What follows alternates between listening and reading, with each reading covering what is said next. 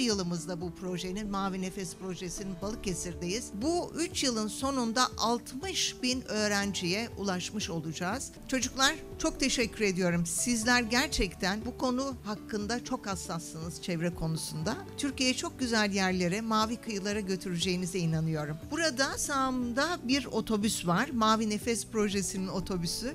Burada robotik kodlamayı öğreniyoruz. Beceri atölyeleri var içinde. Balıkesir Büyükşehir Belediyesi'ne de teşekkür ediyorum. Çünkü sıfır atık ve geri dönüşüm tırını e, getirdiler ve alanı daha da güzelleştirdiler. Çevre hepimizin ortak paydası. Çevreyi mutlaka korumamız, kirletmememiz gerekiyor. Aslına bakarsanız çocuklar büyüklerden ben çok örneğini gördüm. Çok daha bilinçliler. Esasen bu yaşlarda hakikaten de çok daha duyarlı oluyorlar, bilinçli oluyorlar. Bu tür projelerle, bu tür desteklerle birçok sorunun üst- üstesinden de geleceğimize ben inanıyorum. Bu gibi etkinliklere kapı açmak bizim görevimiz. Açtık sonuna kadar da açmaya devam edeceğiz. Çevre önemli, en önemlisi de temizlik. Biz de Balıkesir Büyükşehir Belediyesi olarak denizlerimizi temiz tutmaya çalışıyoruz. Derelerimizi ıslah etmeye çalışıyoruz. Topladığımız çöpleri anlamlı ve ayrıştırılabilir bir şekilde toplayıp geri dönüşüme kazandırmaya çalışıyoruz. Büyükşehir Belediye Başkanımız Yücel Yılmaz'ın bize net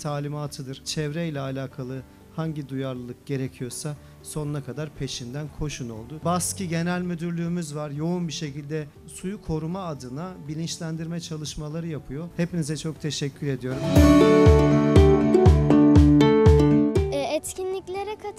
Kodlama otobüsüne girdim.